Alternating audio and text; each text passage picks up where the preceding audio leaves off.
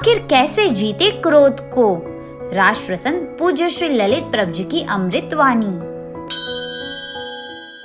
एक दिन हम गुजर रहे थे रास्ते से, इधर शमशान था, उधर कब्रिस्तान था। अचानक पाँव में एक हड्डी टकराई और टकरा कर कहा, अकड़ के मत चल इंसान, क्योंकि एक दिन मैं भी इंसान था। गुस्सा चार तरह का होता है, यूँ तो मामूली गुस्सा, मीठा गुस्सा, बहुत गुस्सा, बेहद गुस्सा। देखो, आप तोलो, आपको कौन सा गुस्सा आता है? एक और तोलो, अपना आत्मनिरीक्षण करो। पहला मैंने कहा, मामूली गुस्सा। क्या होता है? मामूली गुस्सा। बेटा, ऐसा नहीं करते। चल, बैठ जा। आपको नहीं कहा, मामूली गुस्सा कर रहा हूँ मैं। ठीक है ना? बस, इसमें इसको कोई बुरा नहीं लगा, खिसक के बैठ गया। मामूली गुस्सा। नंबर दो, मीठा गुस्सा। पति पत्नी में चलता है। देखो, ऐसे नहीं होगा, ऐसे नहीं होगा। मीठा गुस्सा। लड़ते झगड़ते रहते हैं, पर वापस मिल जाते हैं। नंबर तीसरा, बहुत गुस्सा।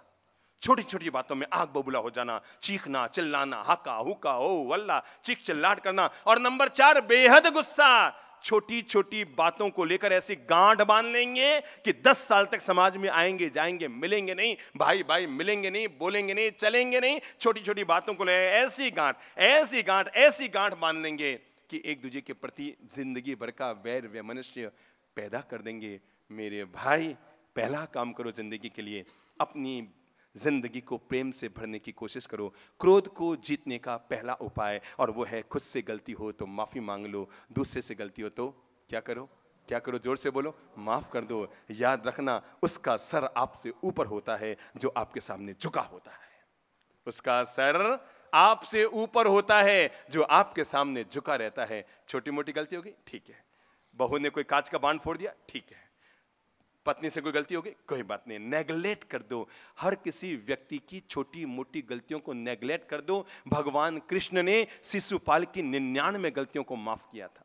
जब शिशुपाल का जन्म हुआ तो आकाशवाणी हुई थी कि भगवान कृष्ण के हाथ से तेरे बेटे का वध होगा। तो शिशुपाल की माँ कृष्ण के पास आई और आकर कहा कि, भाई कृष्ण, मैं तुमसे एक वचन मांगने आई हूँ और मुझे वचन दो कि तुम मेरे बेटे का वध नहीं करोगे। कृष्ण ने भविष्य को देखा और देखकर कहा कि, हे माँ, मैं तुम्हें यह वचन तो नहीं दे सकता कि मैं तेरे बेटे शिशुपाल का वध नहीं करूँगा, पर मैं तुम्हें यह वचन ज़रूर देता हूँ कि मैं तेरे बेटे की निन्यानवे गलतियों को माफ़ कर दूँगा।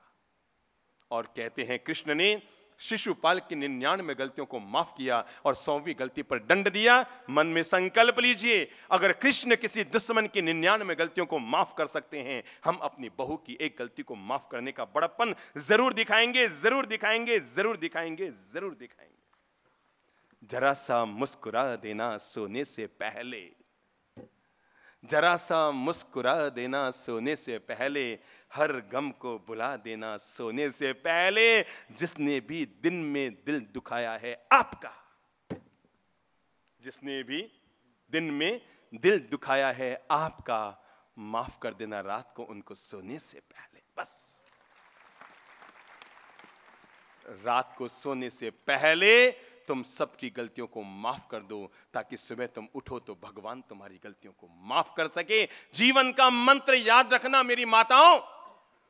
अगर आपने अपनी बहू की एक गलती को माफ़ किया, मैं सच्ची कह रहा हूँ, सच्ची कह रहा हूँ, सच्ची कह रहा हूँ, अगर आप अपनी बहू की एक गलती को माफ़ किया तो भगवान आपकी सौ गलतियों को माफ़ कर देगा। विश्वास रखना। ऊपर वाला आपकी सौ गलतियों को माफ़ कर देना, विश्वास रखना। तो पहला काम कीजिए। नंबर एक छोटी मोटी गलती हो गई। ठीक है, हो गई हो गई। ऐसी कोई बात नहीं थी कि जिसके लिए हम सोचें। ऐसी कोई बात नहीं कि जिसके लिए हम बोलें। ठीक है? बात वहीं खत्म हो गई। बोल दिया, चल दिया, हो गया हो गया, यार, खत्म कर दी। किसी भी बात को लंबे अरसे तक ढो मत, क्योंकि इससे वैर की गांठ बन जाती है। नंबर दो, अगर आप ज़िंदगी के लिए जोड़ना चाहते हैं तो ये जोड़ो कि अगर दूसरे से गलती हुई तो माफ़ कर देंगे। खुद से गलती हुई तो माफ़ी मांग लेंगे। पहला काम, खुद से गलती हुई, माफ़ी मांग लो। दूसरा काम, दूसरे से गलती हुई, माफ़ कर दो। नंबर दो, हर हालत में अपनी ज़िंदगी में एक चीज़ को बढ़ाने की कोशिश कीजिए, और वो है मुस्कान। आपका गुस्सा बिल्कुल साफ़ हो जाएगा। प्रयोग करके देखिए, हर समय मुस्कुराने की आदत डाल लीजिए। आप ट्रकों के पीछे पड़ते ना, देखो मगर। पढ़ा है ना? पढ़ा है ना? सबने पढ़ा है ना? आज मैं आपको जीवन का मंत्र दे रहा हूँ, गुस्सा करो मगर मुस्कान से। अब आप एक बार मुस्कुराते हुए चेहरे से गुस्सा कीजिए तो। एक बार कीजिए, चलिए। एक बार कीजिए। देखो, ऐसे मत करो। एक बार कीजिए ना। मुस्कुराते हुए चेहरे से गुस्सा कीजिए।